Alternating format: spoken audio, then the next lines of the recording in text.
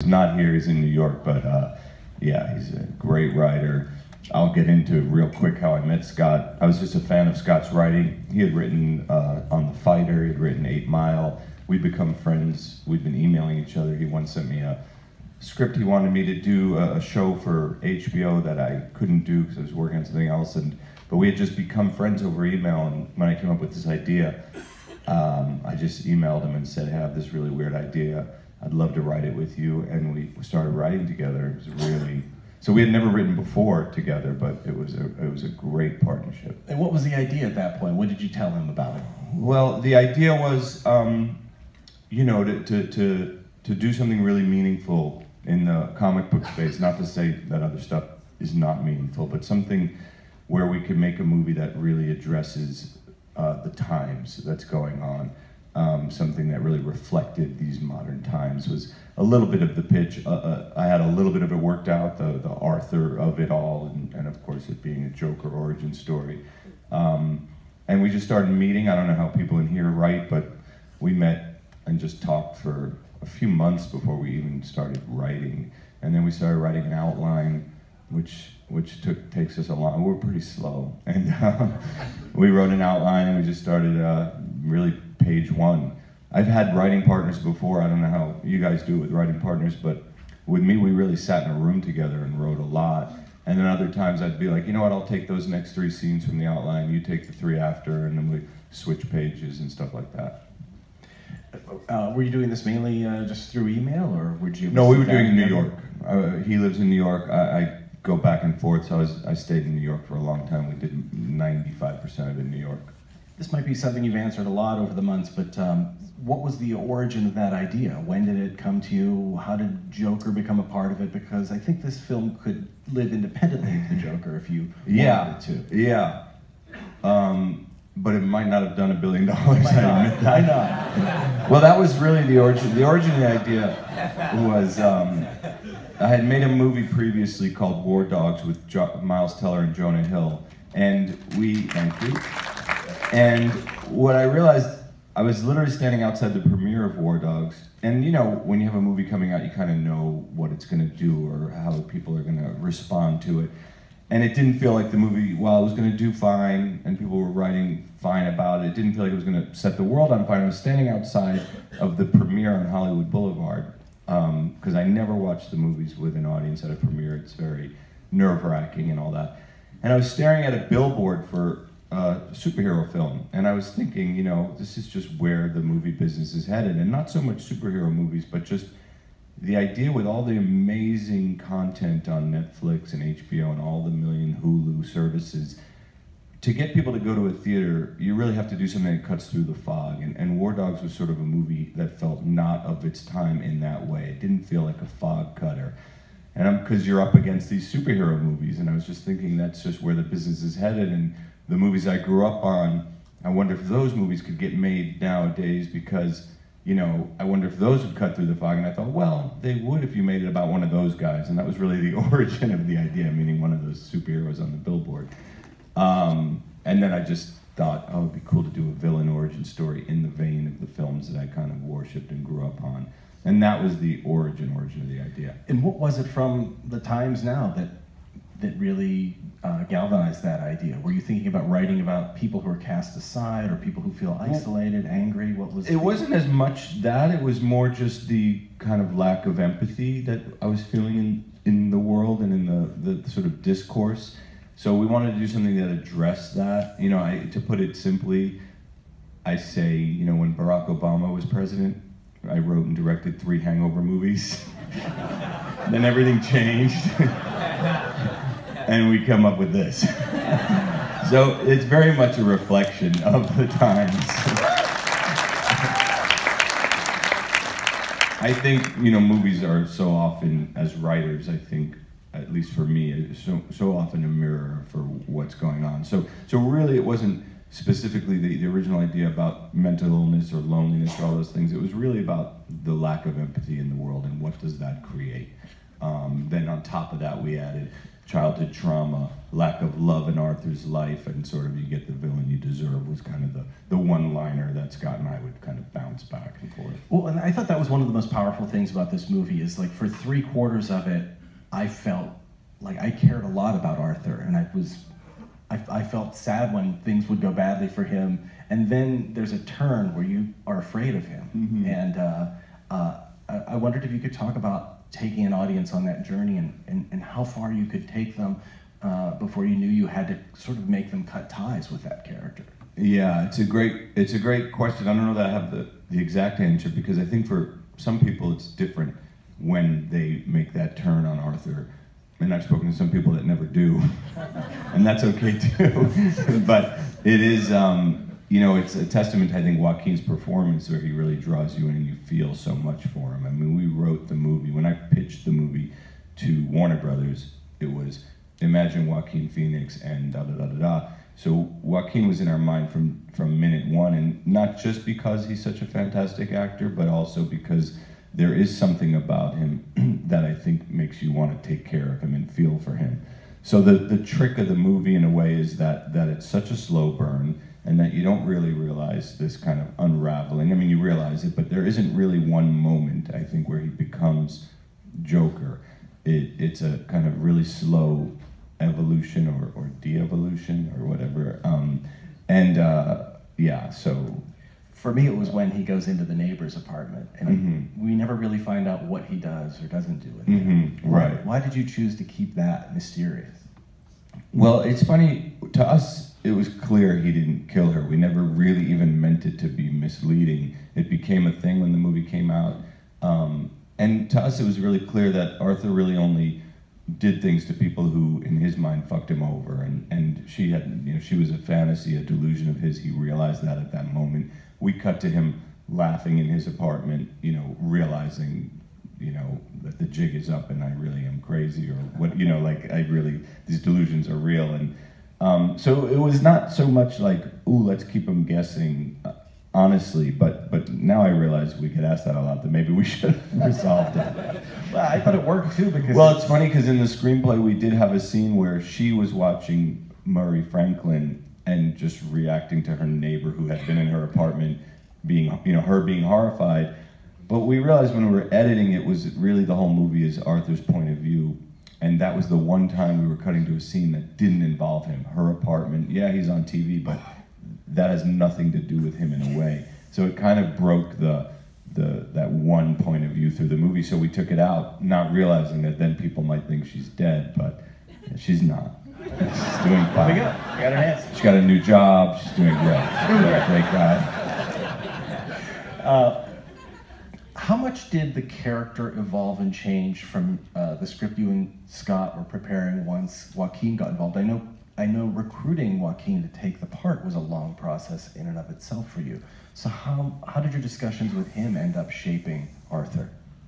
I mean, with him, it was more about always talking about specificity. It wasn't so much broad strokes of script screenwriting and like, oh, this scene or that scene. It was always just drilling down and getting more and more specific with the character that he was going to inhabit. There were things he was worried about, like the laugh, which is a really hard thing to do if you're an actor. I, if anybody just like, okay, in this you're going to be laughing out of the blue. He struggled with that for a while. He struggled with being in a quote unquote comic book movie, even though it really isn't. It's still called Joker. It's still DC is still label on it. You know, he just had never seen himself doing one of those movies. So a lot of that Resisted doing them. he resisted. Yeah, he's turned them down. He's you know, and so a lot of it was getting over those humps, and but mostly it was it was constantly with Joaquin always wanting to dig deeper. But it wasn't so much about writing. It was just about what does this mean? Where is he at here? And just when I thought we would have him, okay, he's in, he's in, he'd go, "Oh, what are you doing tomorrow? You want to come back?" Go, "Okay," because I mean this went on for like three or four months at his house, three or four hours a day. And uh, I jokingly say Joaquin is the tunnel at the end of the light. He, could, he just wants to keep going. But it was an amazing process, and it really made for a great shorthand when we ended up shooting the film. Was that uh, difficult for you because the laugh is what the one specific like clinical ailment that Arthur has that's a real thing. Otherwise, you kept it somewhat nebulous what he's actually afflicted with. I think well, you tell us what's the reason for keeping it a little bit vague. You could have ascribed a lot of different. It was really for him. It was for him.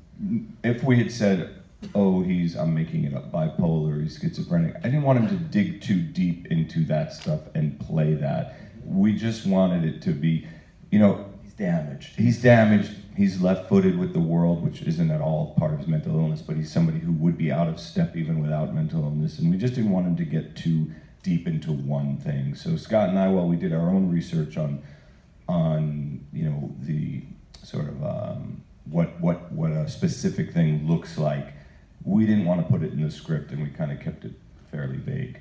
I thought uh, throughout the film that there were so many moments where I was rooting for somebody to respond to him with kindness. I think that's why the, the relationship with the neighbors, that's such a, a gut punch when you find out it didn't happen. Uh, the woman on the bus, Yeah. you, you know, because she's just mean to him. He's trying to make her kid laugh. Even, uh, even Thomas Wayne, Yeah, if he had just I know. Well, you know- accepted him a little bit, there would have been, a, I think that would have course corrected Well, the movie's about the things what we're talking about, and like say childhood trauma and lack of love and, and sort of the lack of empathy in the world. It's also about the power of kindness. And it sounds crazy to say that about Joker movie. I'm not talking about the Mr. Roger movies movie, but it is sort of similar in that way. It's it's it is about if somebody had just been like, "Hey, you doing okay?" it might you know it could be different. And and I do think what I've learned even showing the movie around the world is I've had people come up to me at Q and A's like this, or stand up and they're asking a question and say, you know, just, my sister suffers from schizophrenia. It's always been such a burden on me. I've always I've always thought about it through my lens, and I watch this and I just realize I need to treat her differently. I need to be more patient, or I need to be. And I, I think that's kind of a, a really wonderful side effect of the movie. I, I know it does, it does sound insane to compare to Mr. Rogers, but if Mr. Rogers had met Arthur Fleck back in the 80s, Yeah, like the they had similar sweaters. Now that I think about it. um, uh, I think uh, we're going to open it up to the audience for a few questions, so so keep some of those in mind. But I, I wondered if, uh, uh, before we got to that, the last thing I want to ask you is about the uh, the, uh, the way the story may have evolved or changed throughout the writing process. Um, at the end, there's a. I know you said you wanted the neighbor thing to be a little more clearly understood than than perhaps a, a mystery, but there's also debate about whether any of what we see after the taxi rams into the cop car. Like, is that all in Arthur's head? Do you like what an audience is guessing or interpreting a little bit? I mean, I do think it's intentionally ambiguous. I think it's, um, you know, there is nothing in there unintentional. And even the Sophie thing, we- it's not that we didn't really think of it. I just didn't know it upset people as much as it did alarm them. But, but yeah, I mean, I think I think part of doing an origin story about Joker, about an unreliable narrator, and also Joker, it's almost like a double unreliable narrator, is to sort of um, lean into the ambiguity. So we had we had fun with that and sort of backwards engineering that in the writing process and in making it. All right, let's take a few uh, questions from the audience. Um, you know, we'll start over here with this woman in, pur- in Joker purple. Um, Hi, uh, Hi. that was extraordinary. That was the first time I've actually seen it, so. Great. um, um, Thank you so much, that was beautiful. Um, I was wondering at the end, uh, why did you choose to have uh, one of the other people shoot the Waynes? Um, because he was he was busy. By the way, could everybody hear the question? Oh. the back? Yeah. She asked why at the end did uh, did Todd choose to have some other like a Joker acolyte uh, shoot the Waynes in the alleyway? You know, in the comic books, which we did, we borrow a little from here and there from different comic books in the in the comic books. Joker never killed the Waynes. Only in Tim Burton's movie is is Joker responsible for ki- killing Waynes. Even in uh, Chris Nolan's films and in Zack Snyder, it's never actually Joker. It's always a, a guy. I forget his name. Joe. It has a weird name in the comics, but. Um, nothing to do with Joker. So what we did was it was inspired by Joker, but it didn't make sense for again him to go and, and kill them. It wasn't about that, but it was about they they kind of died because of him. Right down to the Zorro movies. Right down to the Zorro, yeah. Zorro in the comics, they were seeing Zorro. In the comics, they were originally seeing Zorro, the original Zorro. For us, our movie takes place in 1981. So that year, Zorro the Gay Blade was coming out. it was sort of a Zorro parody movie, but parody movie, but it made sense. Yeah, right here in the blue sweat sweatshirt. Um, I wanted to ask, it wasn't expressly um, followed up with, but at one point he grabbed a picture of his mom. I'm sure you've asked this before, and it said, you know, love the smile, TW. Yeah. Is that to say that he actually is the son? And So he's asking about the photo. Arthur turns it over. It says "Love your smile, TW," and then he kind of crumples it up like whatever. Um, yeah, that's another thing. A bit, a little bit ambiguity. Could be anything, you know. But we are leaning into the idea that maybe, possibly, he is Batman, Bruce Wayne's half brother, and he is the son. I mean, we like that theory, but it wasn't. We never really answer it concre- concretely. she could have written it. She could have written it. She's a little crazy, you know. We don't know. Let's take a question in the way, way back. Yeah, you. Thanks for being here. First, Thank- I just wanted to say, Wait for the mic. Oh, he's Mic running. come. By the way, real quick, how many people today? This is the first time seeing. I'm just curious. Wow. Oh, wow. Great. Thank you for coming. Um, this is my second time, and I just want to quickly say I love the the due date shout out to the actor Ethan Chase. Yes, thank Um, you. That's might be my favorite film of yours. I Um, agree. It's mine. Is it really? Love that. Um, directed the shit out of it. Anyway, um, this one's great, but I just I wanted to. Your other films looks like you know you shot anamorphic Yeah. on film. Uh, this one's 185, and it was from what I can tell, it was shot digitally. Can you talk a little bit about the decision to do that? Did it have anything to do with the, the height of the city? It did. It had more to do with the. He's asking about aspect ratio. This will be a quick technical answer. This movie was shot 185. Every other movie I've ever shot is 235, 240, whatever we call it, and uh, wider screen. And it's also it's mainly because every movie I've ever done has been about a group of people, group of guys. Due dates about Zach, you know, and Robert Downey. Uh, when you're framing for one person and you're framing close-ups, it just didn't feel as right to me to be anamorphic or widescreen. So we went with the 185, and also because Gotham is tall and we wanted to feel like everything is sort of bearing down on him. So very simple answer for that, but thank you. Yeah, back here on the uh, on my right hand, right hand side, in the way back.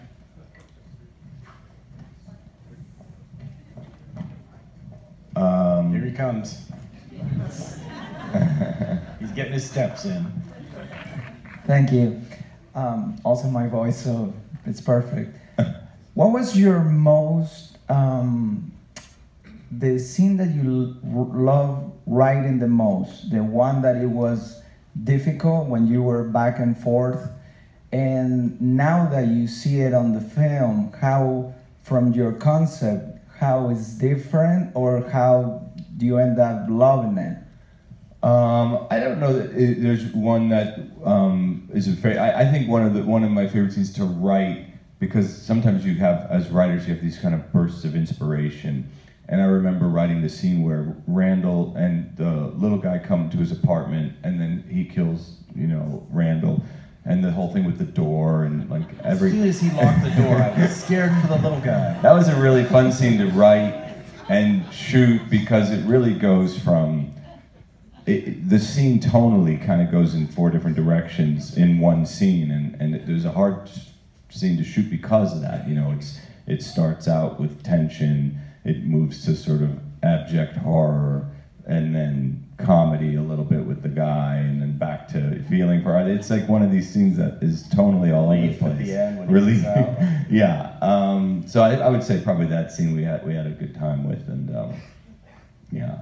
Well, yeah, it's a great, it's a great, real quick, is also the benefit of having a writing partner because I remember I wrote that scene, showed it to Scott, he, he loved it, but he goes, I don't know about the ending, ending, not the thing that's in the movie, because it, it went on. So Arthur then lets the little guy out of the door, he goes, he runs, and he kind of wipes the blood off himself, and then all of a sudden there's a knock on the door, and it's Gary again, and he can't reach the elevator button. And Scott's like, you know, it's like you had me, and then like you went too far.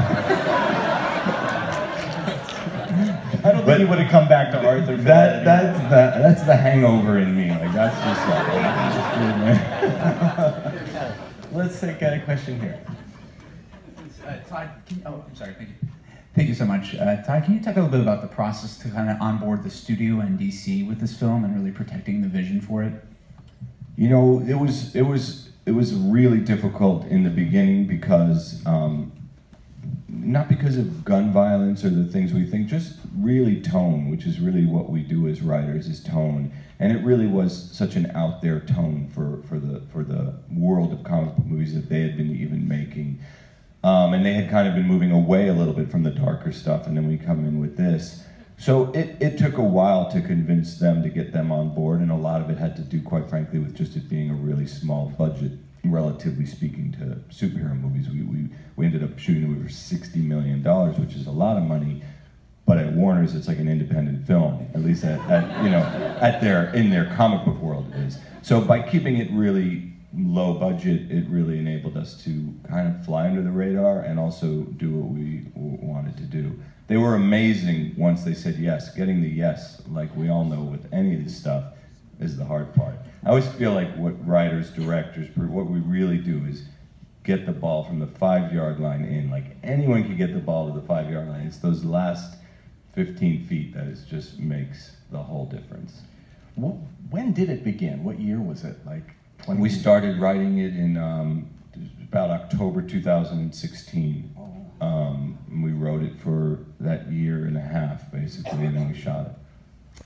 You going to do like two more? Yeah, a couple more, I'm fine. All right, cool. Uh, let's see here. Yes. Yes, you uh, in the front. Hello. Um, this is my fourth time saying it, Todd. The turning point were the social workers. I was concerned, both of them seemed so dismissive. And I was wondering, with the first social worker, she, I thought she could have saved him, giving him his medication. She didn't offer any resources or options. So, can you tell me? a But what do you mean the first? You mean the social worker is the same social worker in both scenes? Oh, yeah. Right. It's the same. It's Sharon Washington, same actress. But the woman at the end and in the, in the white room, that's a different woman. Yes. Right. That's what she meant. But is that what you're talking about? You're talking about the woman at the very end?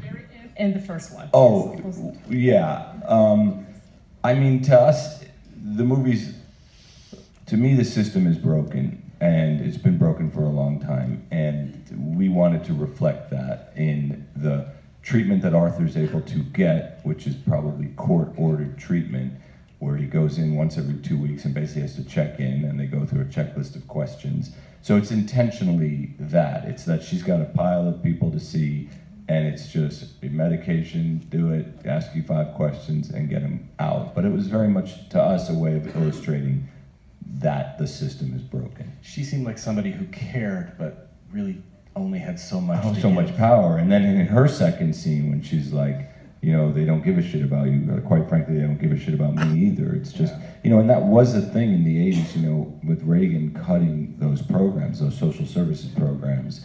And again, while the, you know, movie takes place in 81, we also see it uh, as a movie that is about now, but that still exists. But some of that, the garbage strike, the cutting of social services, was something that really was going on back I mean, then. we're seeing the effects of that in our own city, the uh, homeless epidemic, where Right. these are people that probably should be in some sort of treatment or getting Right. care, and there is none for them, Right. so we cast them out. Yep.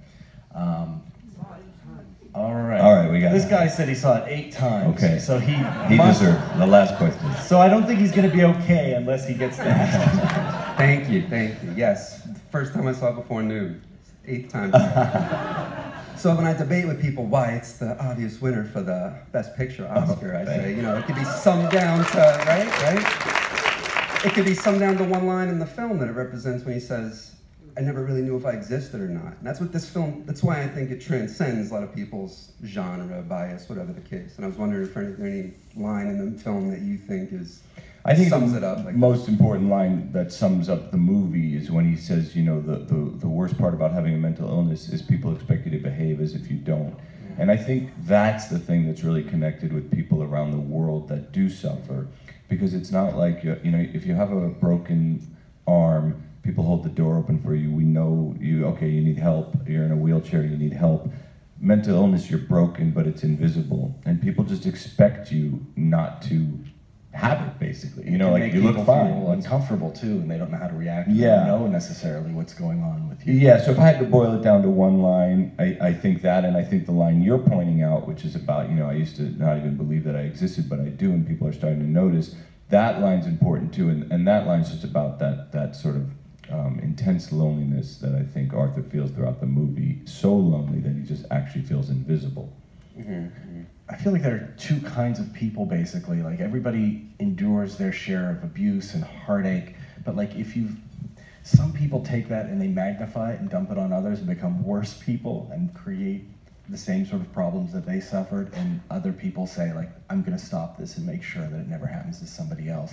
And I feel like if anybody had shown him kindness that he might have had something to go on and instead it was just this pushback against the world that he Right. resorted to. What do you think mm-hmm. about that? I mean, I, I don't know if it's as simple as just two types, and if, but but I do, yeah. I mean, I definitely agree that you know he also does have a mental illness. It's not just if you pat him on the back, but he just needed the right treatment and care, and um, you know he, he didn't get it. But Let's do one more question. thirty-three times, I. Uh, but you know, I, I believe her because she, she saw it last time I saw you. You had seen it 20, 23 times. So I talked to a security guard at Warner Brothers who had seen it 26 times, but in a row, and he was not the same. But that's different. He has to do it for a Yeah, job. he was just sort but of shaking. she, I, I met her before. She was at a screening at the Aero in Santa Monica, and uh, she had seen it 23 times at that point. And your husband was with you, wasn't it? No. Oh. Just so- a friend. Oh, just a friend. But but he he he sort of confirmed it is all I meant. All right. Uh, oh, so 33 times. Yes, um, I'm pretty stable. Don't worry. um, it's similar to the question I asked before, but uh, I read that script that was online. Uh-huh. Is that the? I don't know what script's online. There was a script that leaked, an April draft, and if I put it into context, uh, the script that leaked was an April draft. We shot the movie with a September draft. I think everybody in this room that are writers know there's probably 14 drafts in between that. So it was a little disappointing that maybe what you read is the April draft. Perhaps. Right. So I just noticed the vast difference between that Arthur and Yes. the one we met. Yeah. Not as likable as this one.